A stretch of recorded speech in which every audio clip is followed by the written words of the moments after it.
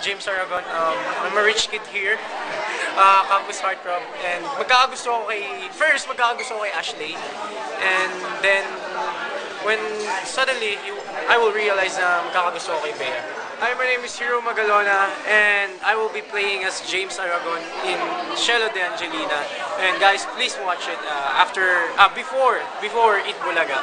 And to all the followers of Jobea and to all my followers also, um, please do watch it and please support us. Thank you.